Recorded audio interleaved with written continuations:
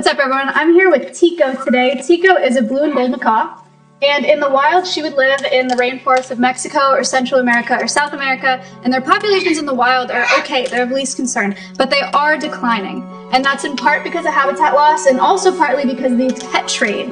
So since the 1980s, over 12 million parrots have been legally exported for the pet trade. That's not including the birds that have been exported illegally. That transport is never good for these birds. Audubon Society estimates over 75% of those wild captured birds die before reaching a purchaser. And over half of our parrot species are in decline, and a lot of them are involved in that pet trade.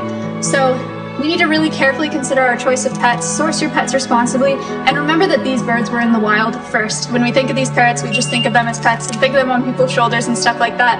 But they started in the wild and they should be able to stay in the wild. So thanks for watching. See you on the next one.